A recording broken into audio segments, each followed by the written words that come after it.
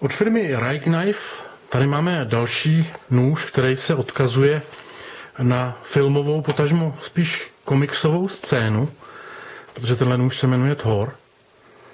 Thor 7 přesně řečeno.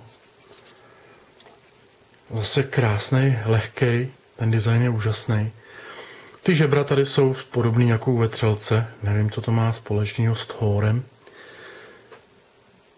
Tady jsou dokonce taky ty žebra. Je to hodně, hodně podobný té vetřelčí sérii.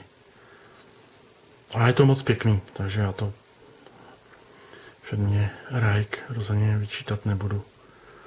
Zvláštní řešení toho linerlocku nebo spíš framelocku. Tady se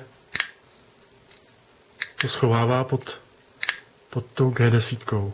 Ono se to některým lidem nelíbí, už, už na to bylo u, třeba u Devconu, na to byly stížnosti, že tam zůstává vlastně jenom samostatný kompozit bez opory ocele. To prostě tak je. A je to hezčí, jakoby designově čistší, pokud je ten framework zakrytý. A ten kompozit vydrží strašně moc. Tam u toho v případě toho Devconu to byl do, dokonce karbon. Tady je to G10, ale pořád to jsou skelný vlákna v pryskyřici nějaký.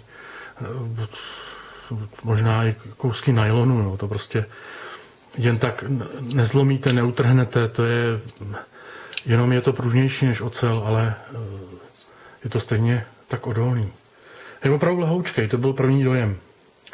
Délka v zavřeném stavu 4,75. To je tak akorát.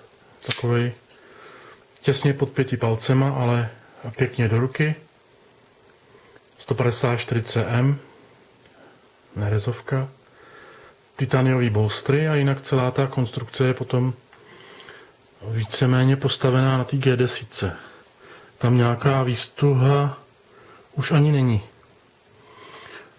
Dokonce ten, ten framelock, framelock je na tom, na té G10 připevněný.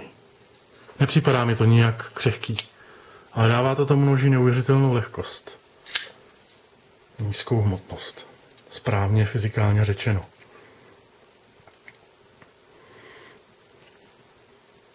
Žebra nádherný. Líbí se mi. Moc pěkný kousek. Začínám ty firmě velmi fandit.